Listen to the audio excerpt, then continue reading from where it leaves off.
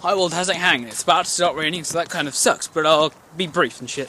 Okay, we're recording in four days, on Saturday. Today is Tuesday, I think. This It's spring break, so I'm, I'm not sure anymore. But yeah, okay, so yeah.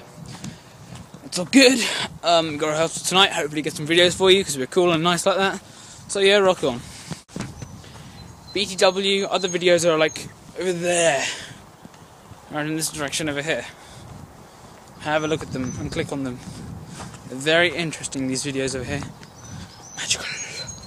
Magical videos. Magical. Yes, I have a look at those videos because they're awesome. They're uh, previous vlogs. Slightly outdated now. Very outdated, all of them, I think.